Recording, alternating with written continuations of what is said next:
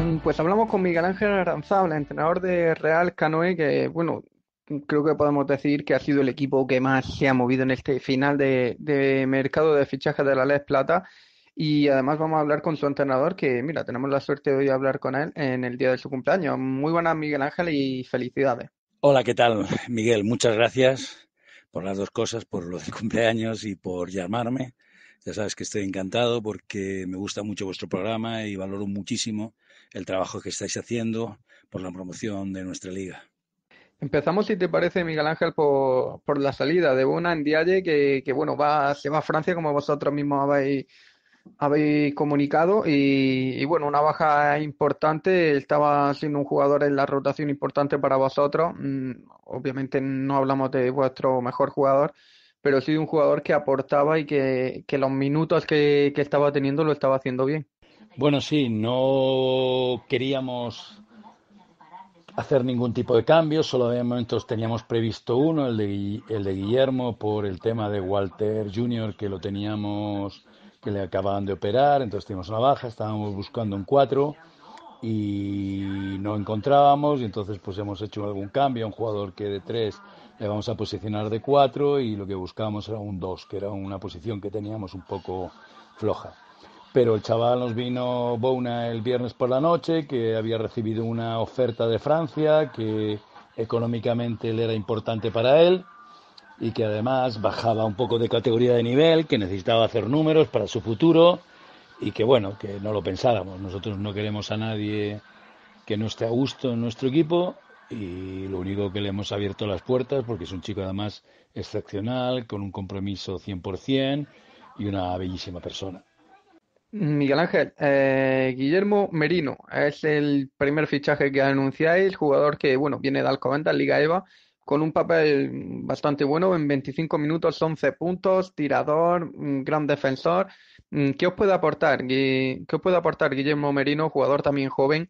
Eh, ¿Qué puede aportar a Real Canoe? Bueno, Guillermo es un jugador que desde hace dos años siempre he querido fichar. Tuvimos un año muy a punto, estábamos todos de acuerdo, lo que pasa es que, bueno, luego por esa estructura de equipo, un jugador que pensábamos que no iba a seguir al final siguió y no salió. Es un jugador que llevo detrás de él varios años porque me parece que tiene un futuro espléndido, es un jugador que creo que además nos va a venir muy bien, teníamos la posición de dos un poco coja, es un jugador que tiene muy muy buena mano, eh, es agresivo, tiene muy buenas patas, es físicamente superdotado, nos puede ayudar adelante y atrás, nos puede dar ritmo. Yo creo que nos puede ayudar muchísimo. Y quizá la, mayor sorpresa de este mercado de, fichajes es eh, el fichaje de Cadot, que estaba en Navarra y bueno, Navarra lo da, lo da de baja y, y ahí está Canoe apurando las últimas horas para llevárselo y para incorporar un jugador que conoce a la liga, que no lo estaba haciendo mal eh, con David Mangas pero que, bueno, busca otra oportunidad en, Canoe. Muy importante este fichaje que, que no sé si es el, diferencial para intentar estar en esos puestos de playoff, Miguel Ángel. Bueno, es un jugador que nos viene, pues a partir de que Bouna nos dice que se quiere ir, pues le damos la libertad y bueno, empezamos a darle vueltas. Tenemos todavía que la baja, de, ya como hemos comentado antes, de Walter Jr., más Rubén Martínez tiene unos problemas con un virus que no terminamos de saber cuál es, lleva un mes y pico de baja y eso lo estábamos notando porque en los entrenamientos éramos nueve, que tenemos un junior y un 21 que, con jugadores importantes que nos pueden ayudar, pero que no era lo mismo.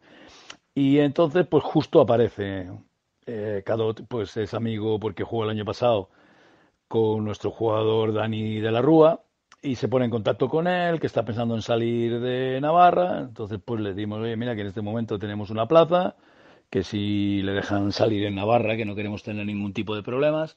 Parece ser que habla con Navarra, que no le pone absolutamente ninguna pega, y llegamos rapidísimamente a un acuerdo. Yo creo que es un jugador que nos da físico, que nos puede aportar mucho, tiene experiencia y esperemos que eso que nos ayude primero a, a salvarnos. Oye, ¿y por qué no, si cuando estemos salvados podemos intentar optar a los playoffs, que sería un sueño? Miguel Ángel, el próximo partido en casa frente, frente a Martorell, un equipo que, que está mm, contra las cuerdas, que prácticamente no le quedan opciones y, y, que, bueno, lo dará todo por conseguir una victoria en una pista complicada. Imagino que afrontáis el partido con, con una victoria que hay que sumar si, si repetimos como antes, queréis apurar esas opciones de play aunque obviamente dejamos claro que, que el objetivo del equipo es, la permanencia, pero ¿por qué no soñar? Y, y, suponemos que este partido es clave para ello. Sí, para nosotros el partido de Martorell es una auténtica final. A principio de temporada pensábamos que con 11 victorias estaba el límite en la salvación.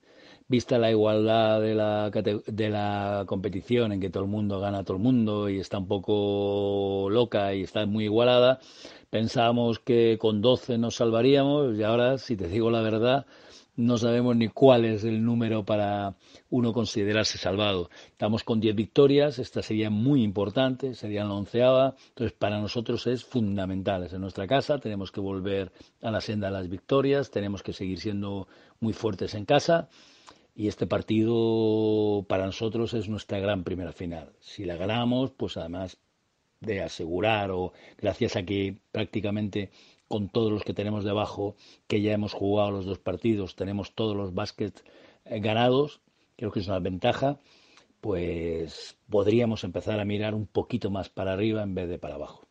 Pues Miguel Ángel Aranzábal, no te molestamos más, simplemente queremos conocer este, este mercado de fichajes, también eh, lo, cómo está Cano en estas últimas semanas que, que, llevamos sin hablar y bueno, la verdad es que está bastante bien y no, nos alegramos de ello.